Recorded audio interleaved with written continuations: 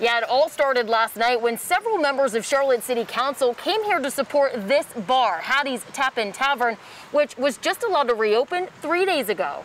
It's the picture that's ignited a firestorm on social media. Snapped by the publisher of QC Nerve, the picture shows a member of Charlotte City Council standing while not wearing a mask at Hattie's Tap-In Tavern, a neighborhood pub located in between Charlotte's Plaza Midwood and Noda neighborhoods. We've been closed for seven months now. Owner Jackie DeLoach says she's worked hard to put new safety precautions in place, and just two days after reopening was visited by several members of Charlotte City government. It was pretty awesome. I mean, I, Larken has been a, a, customer here for years. DeLoach says some of what's being alleged on social media is true. You know, at first, we did have to ask the mayor to get her mask, so she had to go back to her car and get her mask. But DeLoach says masks are not required when sitting and believes the photo blown out of proportion, saying it captured just one snapshot in time.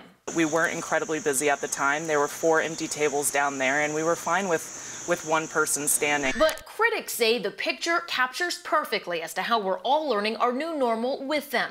Just hours earlier during a city council meeting, I'm going to pull this aside while I talk. It was Councilman Egleston, seen here without his mask, who was quick to react when Councilmember Driggs uh, took his off. What's that? I think we are all going with the mask, but we can hear you fine. Also during that meeting, Councilmember Braxton Winston asked the council to be able to join future council meetings via WebEx, citing health concerns. The council was split in their vote, with the mayor being the tiebreaker. She ultimately voted no. Now, I have also reached out to all members of Charlotte City Council. We've posted the responses we've received on our website. Reporting in Charlotte, Ashley Daly, WCNC Charlotte.